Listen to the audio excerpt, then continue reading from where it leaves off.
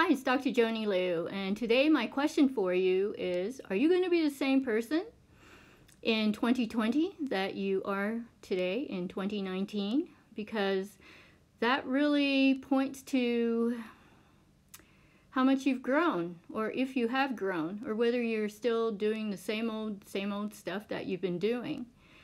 And, you know, I mean, for me personally, since I've been studying this material with um, thinking into results with Bob Proctor, a lot of things have changed for me uh, every year. I mean, I basically look back at a year ago and where I was uh, when I had really started my speaking career in a very serious way to where I am today. And I've spoken again at Harvard. Um, I've spoken in San Diego in front of an incredible crowd. I mean, I was speaking, I was practicing my speaking because it's so important for growing uh, an audience and for growing awareness and, and also for personal and professional growth because, you know, like um, uh, speaking in front of an audience, public speaking is um, scares people more than death. So, so it's not a common thing for people to do. So I want to ask you if you want to be the type of person that's growing. Are you growing? Are you um, are you thinking about your life and about where you really want it to go? Because it's really important that you think about that, and not just because you know we're coming into a new year.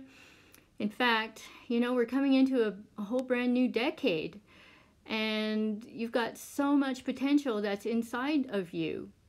So I want you to really think about that, and it doesn't really matter how old you are It has nothing to do with age. It really has everything to do with what your desire is, whether you're still dreaming, whether that comes from being fed up with the way life is, or whether you're on a roll and you just want more.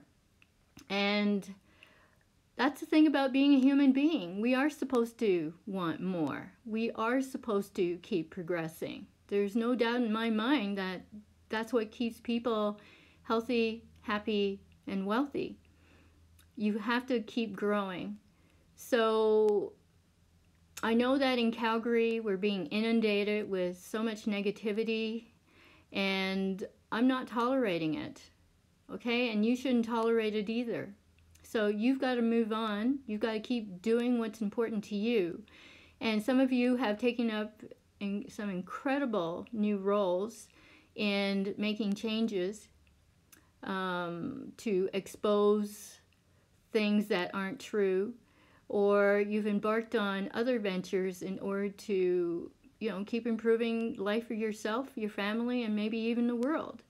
And I definitely applaud all of you people for working so hard and for believing in what you do. So believe in what you do and really go after it because it's not out of fear. It's out of determination and out of courage because you're speaking out and you're making a whole lot of sense. Okay, so just continue that. Remembering, you know, look back at what you were like a year ago and see how much you've grown. And I sure hope you have grown. Okay, so um, leave me your comments, leave me your likes, and I'll talk to you again tomorrow. Bye.